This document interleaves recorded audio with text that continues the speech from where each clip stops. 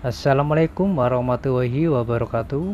Halo teman-teman, berjumpa kembali bersama kami channel Bajar Seten Oke teman-teman, di mana pun anda berada, semoga dalam keadaan sehat walafiat dan tidak kekurangan dalam suatu apa pun. Pada kesempatan kali ini saya akan berbagi cara menghitung kebutuhan paving block ya atau con block Untuk per meter perseginya dia membutuhkan berapa buah paving block ya teman-teman ya dengan tipe jenis bata ya teman-teman ya. Dengan ukuran eh, 10,5 kali 20 cm kali ketebalannya 6 cm Oke teman-teman kita masuk terus ke perhitungannya. Ini ada contoh sebuah gambar jalan setapak menggunakan batu paving block atau con block. Bagaimana untuk mencari tahu dalam satu meter perseginya dia membutuhkan berapa buah paving block. Nah di sini perlu kita ketahui dulu ukuran paving blocknya itu dalam satu buah eh, luasan dan volumenya berapa. Di sini kita cara perhitungannya untuk jenis paving block tipe bata ya. Dia jenisnya seperti bata ya eh, persegi panjang. Lalu bagaimana untuk mengetahui dalam satu meter persegi dia itu isinya berapa buah ya? Di sini kita harus ketahui dulu untuk spesifikasi ukuran paving blocknya contoh di sini untuk tipe bata ya.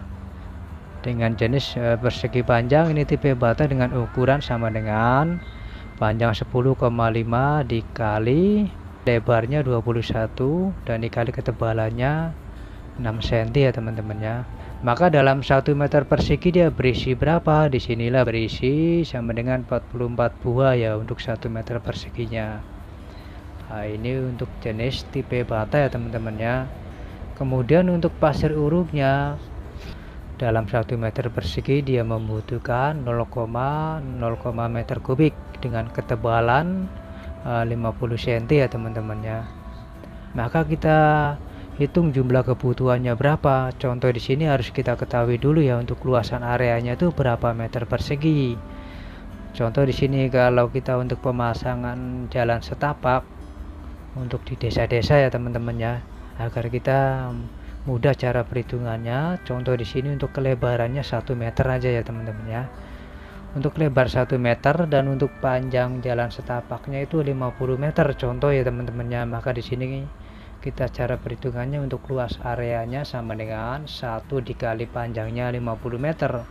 Maka hasilnya sama dengan 50 meter persegi. Kemudian kita masuk ke perhitungannya untuk kebutuhan material sebagai berikut. Contoh untuk paving blocknya yang sudah kita ketahui kebutuhannya 50 meter persegi. Nah contoh di sini ya paving block sama dengan 50 meter persegi dikali. Dikali dalam 1 meter persegi dia membutuhkan 44 buah.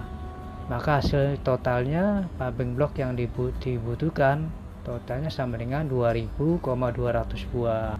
Kemudian untuk kebutuhan pasir urupnya untuk kebutuhan pasir urupnya angka kepesannya yang sudah kita ketahui dalam 1 meter persegi dia membutuhkan 0,05 meter kubik dengan ketebalan 5 cm maka contoh di sini untuk kebutuhan pasir urupnya untuk luasan areanya yang sudah kita ketahui sama dengan 50 meter persegi dikali 0,05 meter kubik maka total pasirnya sama dengan 2,5 meter kubik. Ya ini untuk kebutuhan pasir hurufnya.